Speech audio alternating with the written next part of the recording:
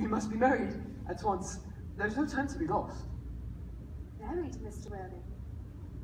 Well, surely.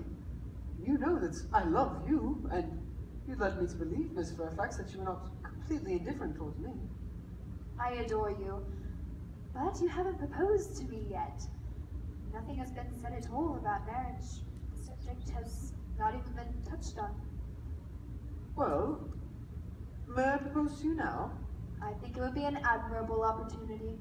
And to spare you any possible disappointment, Mr. Worthing, I think it only fair to tell you quite frankly beforehand that I am fully determined to accept you. Gwendolen. Yes, Mr. Worthing. What have you got to say to me? You know what I've got to say to you. Yes, but you don't say it. Gwendolen, will you marry me? Oh, of course I will, darling. How long you have been about it.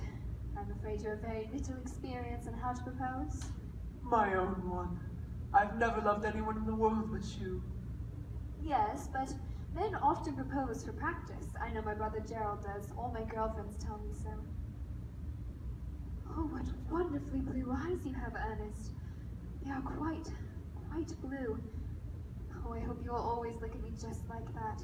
Especially when there are other people present. Mr. Worthing! Rise, sir, from this semi-recumbent posture. It is most indecorous. Mamma! I must beg you to retire. This is no place for you.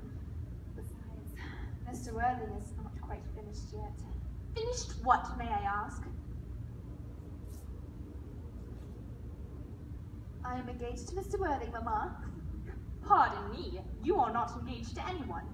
When you do become engaged to someone, I, or your father, should his health permit him, will inform you of the fact. An engagement should come on a young girl as a surprise, pleasant or unpleasant as the case may be. It is hardly a matter that she should be allowed to arrange for herself. And now I have a few questions put to you, Mr. Worthing.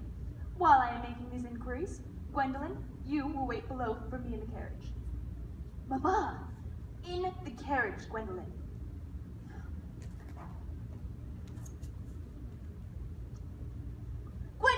The carriage. Yes, Mama. Hmm.